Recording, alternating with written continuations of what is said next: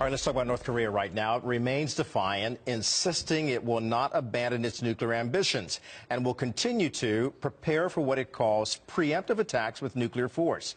This comes amid efforts that Russia and China are supplying the rogue regime with oil in violation of UN sanctions. Here with me now, Jonathan Wachtel, former Director of Communications and spokesperson at the United States Mission to the United Nations. So here we are uh, on the beginning of 2018, and we still have not only is it in our rearview mirror, but it's in our forward view. North Korea, Kim Jong Un, continuing to have that penchant for developing a nuclear armament to counter anything that the United States can do to stop them. What do we do?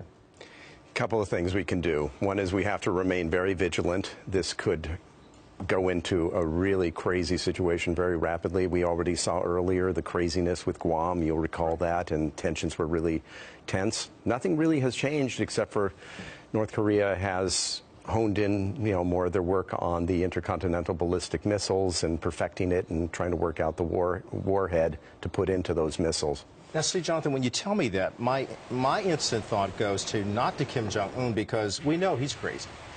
I hate to say that, but, but, pretty much, and that's a terrible thing to say, but the world usually views him as being crazy. But then there's Russia and there's China not doing what they need to do in terms of their due diligence to make sure that North Korea is contained and that it doesn't get too squirrely on us to the point that we can't pull it back and keep something uh, from happening in terms of provocation to an all-out war, which would be disastrous, of course.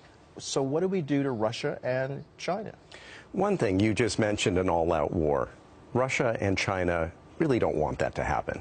That would be. But if they keep pushing the envelope. That understood, but they really don't want that to happen. That is why we've seen some coming around in terms of Beijing and Moscow because they don't like to have a super heavily armed atomic power in North Korea right next to them. I mean, yes, they have a history of supporting North Korea militarily, economically. They're neighboring countries. They have trade historically right across those borders, hundreds of miles of shared borders. It makes sense for them to be engaged with North Korea. But they don't want a conflict because if you have a conflict, then you have unforeseen consequences that will affect them. So do they want to give the United States and its Western allies a headache? They certainly are enjoying giving us a headache, no question in, in that regard, and they've enjoyed that for decades. It's been quite helpful for them to have the United States be a boogeyman uh, in North Korea and to have this adjutant irritant uh, for, for the United States. It's a costly irritant as well. We have troops stationed in the uh, demilitarized zone in, in Korea, and we have to remain vigilant because it really is an unpredictable regime in North Korea, and it's scary because they are a nuclear power. So what does Russia and China gain by making sure that North Korea remains a headache to us and a distraction to us in terms of moving forward with things that we want to do globally? Geopolitically, it's helpful for them because they have yet another tool in their box to be able to pressure the United States and put us at unease. Um, there's a level of irresponsibility here, obviously. Uh, you know, we wouldn't have this problem one could easily argue if Moscow and Beijing really clamped down and didn't do as, as that report you reported a short time ago, uh, you know, providing fuel and other lifelines to the North Korean regime. So they, they, they want this to be going on. The other thing that they gain from this is obviously trying to contain uh, geopolitical strength in the region itself. Yeah.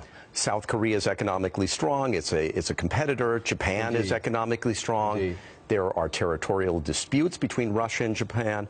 China has issues historically with Japan. So there are various so it sounds like a chess game here. going on, but historically, Kim Jong Un is looking at the likes of some other people, like Saddam Hussein, you were mentioning, Muammar Gaddafi, trying to follow the pattern that they had in terms of being belligerent and provocative in their actions.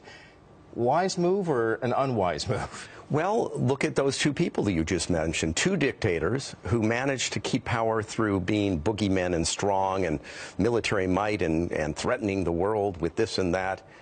And they didn't have nuclear deterrence. Both of those dictators are dead. And Kim Jong un knows that if war breaks out, he is probably one of the first casualties.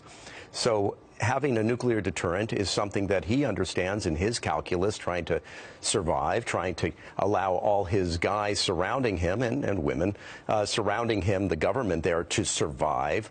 They have a, you know, a, their own cottage industry going on in North Korea. Survival is at the center of it. Yeah, well explained. Uh, look, I, I got to go. Uh, that was supposed to be the last answer, but I got to ask you real quickly about Iran. Is the president doing the right thing to, to, to uh, challenge Iran on these demonstrations that are taking place?